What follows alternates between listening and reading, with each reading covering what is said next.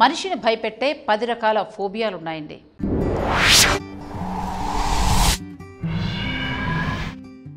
Phobia. ఈ Greek పదానికి అర్థం భయం. లాటిన్ ఇంకా ఇంగ్లీష్ భాషల్లో కూడా అదే అర్థం రావడంతో ఆంగ్లంలో కూడా అదే పేరుకు స్థిరపడ్డారు భాషా నిపుణులు. మంచి పౌష్టికాహారం తీసుకుని రోజుకి కొన్ని గంటల పాటు వ్యాయామం చేస్తూ పర్ఫెక్ట్ మెటబాలిజంని ఆచరణలో పెట్టే పేరు మోసిన దేహదారుఢ్య ప్రసిద్ధి మనుషులకు అంటే బాడీ బిల్డర్స్ కూడా. ఆరోగ్యం సహకరించకపోవడానికి గల కారణం వారికి ఫోబియా ఉండడమే అని చెప్తారు శాస్త్రవేత్తలు. అదేంటి? నిరంతరం ఆరోగ్య పరిరక్షణే పరమావధిగా ఉండే వీరికి భయాలుండడమేంటి? అన్న ప్రశ్నకు సమాధానమే ఫోబియా. శరీరం ఉక్కులా ఉన్న మానసిక పరిస్థితి అద్భుతంగా ఉన్నా కూడా మనిషి తన జీవితంలో ఎక్కడో ఒకసారి ఏదో ఒక విషయానికి ఖచ్చితంగా భయపడే ఉంటాడు. అలాంటి ఆ భయపెట్టే విషయాల వర్గీకరణలో పది అంశాల గురించి ఇప్పుడు మనం సవివరంగా తెలుసుకుందాం. అరాక్నోఫోబియా.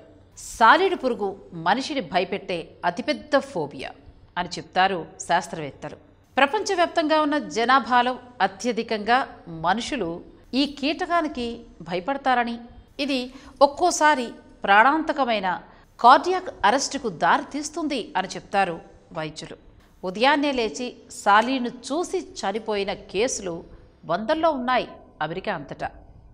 డాక్టర్లు మాత్రం ఇది చాలా ప్రమాదకరమైన విషయంగా గుర్తించి తగు చికిత్సను ఇంకా సైకాలజీ సెషన్స్ను ఇస్తూ ఉంటారు కొన్ని సందర్భాల్లో. జీనోఫోబియా. శృంగారం అంటే ఇష్టపడని వారు ఉండరు. కానీ ఈ ఫోబియా ఉన్నవారు మాత్రం శృంగారం పేరెత్తితే చాలు పారిపోతారు. దీనికి రెండు రకాల కారణాలు ఉండొచ్చు అని చెప్తారు వైద్యులు. ఒకటి చిన్నతనంలో వారికి కలిగిన లైంగిక వేధింపులు అంటే సెక్సువల్ హెరాస్మెంట్స్. ఇంకొకటి శృంగారం మీద వారికి సరైన దృక్పథం లేకుండా ఉండడం. ఈ రెండు కారణాలు మగవారి కన్నా స్త్రీలను ఎక్కువగా బాధ పెడతాయి అని చెప్తారు శాస్త్రవేత్తలు. కాబట్టి చిన్నప్పటి నుండే ఆరోగ్యకరమైన వాతావరణంలో ఆడవారిని పెంచటం ఇంకా గుడ్ టచ్ ఇంకా గుడ్ టచ్ బ్యాడ్ టచ్ల గురించి ఆడపిల్లలతో మాట్లాడడం లాంటివి చేస్తే వారికి ఫోబియా పోతుంది అని అభిప్రాయపడతారు వైద్యులు. ఒఫీడియో ఫోబియో. పాములు చూస్తే. కాదు కదా ఆ పేరు వింటేనే భయపడే వారికి ఒఫీడియో ఫోబియో ఉంది అని అర్థం.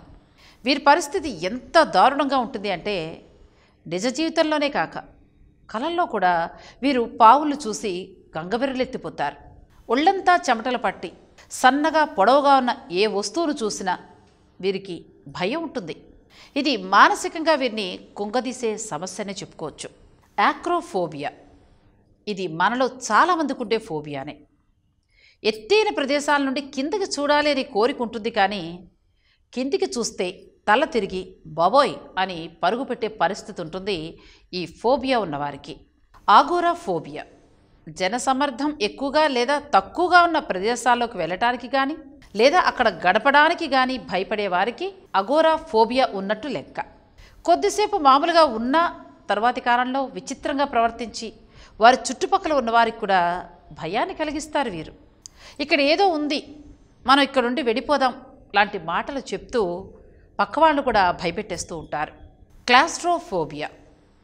ఇది ఉన్నవారికి చిన్న ప్రదేశాలు అంటే అస్సలు గిట్టదండి.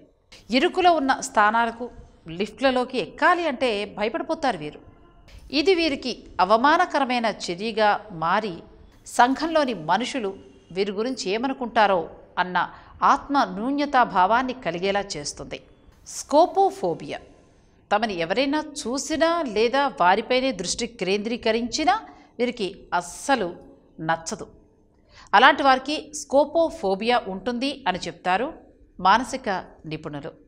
ఈ రోజుల్లో ఉన్న సోషల్ మీడియా విప్లవానికి గాను వీరి సంఖ్య రోజురోజుకి పెరుగుతోంది అని చెప్తారు శాస్త్రవేత్తలు. సోషల్ మీడియాలో పోస్టులను చూస్తూ వారి ఫోటోను అప్లోడ్ చేద్దామని అనుకుంటారు. చివరి నిమిషంలో ఆ ప్రయత్నాన్ని విరమించుకుంటూ ఉంటారు. అలా రోజు సోషల్ మీడియాలో మన గురించి మనమే బాహ్య ప్రపంచానికి తెలిపితే మనకు దిష్టి ఎక్కువైపోయి మనం చనిపోతామని చనిపోయాక తమ డేటా ఎవరు ఎలా వాడుకుంటారో అనే వెర్రి భయం వీరికి ఎక్కువగా ఉంటుంది. ఇది రాను రాను ఎక్కువైపోతోంది యువతలో అని ఒక సర్వే తేల్చిందండి. మైసోఫోబియా క్రిములు అంటే అస్సలు పడని వారికి మైసోఫోబియా ఉంటుంది అని చెప్తారు శాస్త్రవేత్తలు. వీరి ప్రవర్తన ఒకంత విచిత్రంగా మారుతుంది కనుక వీరికి సోషల్ స్టిగ్మా అంటే సంఘంలో ఉండే మనుషులతో ఉండే సంబంధాల తాలూకు సున్నితత్వం ఎక్కువగా ఉంటుంది. ఎవరితోనైనా కరచాలనం చేసి వెంటనే వారి ముందే సబ్బుతోనో లేదా ఇతర ద్రవాలతోనో చేతుల్ని శుభ్రపరిచేసుకుంటూ ఉంటారు. ఇది సంఘపరంగా చాలా జుగుప్స కలిగించే చర్య అని వారిని చూసి నవ్వుతారు అంతా. ఏరోఫోబియా. వీరు తమ జీవితంలో అత్యంత బాధపడే సమయం విమానం ఎక్కినప్పుడండి. ప్రపంచం మొత్తం మీద అతి శక్తివంతమైన ఇంకా సురక్షితమైన విమాన ప్రయాణం అనేది వీరికి నరకలోక యాత్రతో సమానం మరి. ఇది వీరిని చాలా కలచివేసే విషయమనే చెప్పుకోవాలి. ట్రైపోఫోబియా. వీరికి రంధ్రాలంటే పరమ అసహ్యం. మనుషులకు వాటిని చూస్తే జుగుప్స కలగడం ఒక ఎత్తైతే వీరికి రంధ్రాన్ని చూస్తే మూర్చొచ్చినంత పని అవుతుంది అని చెప్తారు శాస్త్రవేత్తలు.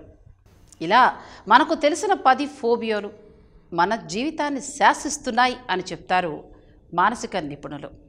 ఇందులో భయపడేంత విషయం ఏమీ లేదు కానీ ఆత్మస్థైర్యం ఇంకా సంకల్ప బలం ఉంటే చాలు. మనల్ని ఏ ఫోబియో ఏమీ చేయలేదు అని చెప్తున్నాయి కొన్ని పరిశోధనలు. ఇక మనకి ఏ ఫోబియో ఉందో తెలుసుకుని ధైర్యంతో దాన్ని ఎదుర్కొని జీవితంలో ముందుకు వెళ్ళటం అనేది మన తక్షణ కర్తవ్యం. భయపడేవాడు రోజు చస్తాడు. భయాన్ని ఎదిరించి పోరాడేవాడు ఒక్కసారే చస్తాడు అని విప్లవ కవి శ్రీశ్రీ ఊరికే అనలేదు మరి. All the best get out of phobias get in life ఇలాంటి మరిన్ని విశేషాల కోసం మా ఛానల్ని సబ్స్క్రైబ్ చేయండి. London.